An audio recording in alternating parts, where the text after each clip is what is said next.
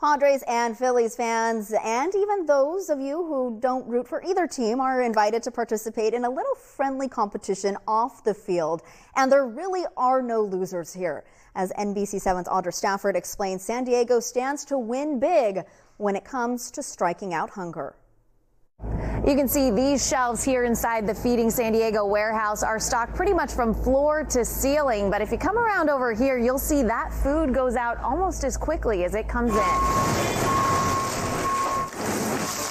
Each month, 2 million pounds of food are boxed and bagged at Feeding San Diego and delivered to hundreds of thousands of San Diegans who struggle with hunger.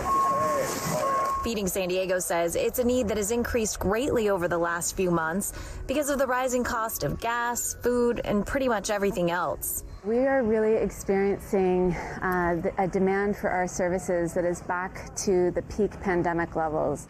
And the need isn't unique to San Diego. In Philadelphia, where the Padres are now facing off against the Phillies, the Philabundance Food Bank is also seeing more and more demand. So the two cities have decided to swing for the fences and make a friendly wager. We decided to take the challenge off the field and create a, a fundraising challenge between uh, Philabundance and Feeding San Diego, where we could see which organization could raise the most funds. In the hope that others will play along and help them strike out hunger. We're in this to win, and uh, the people that really will win are the people across San Diego County who need our help.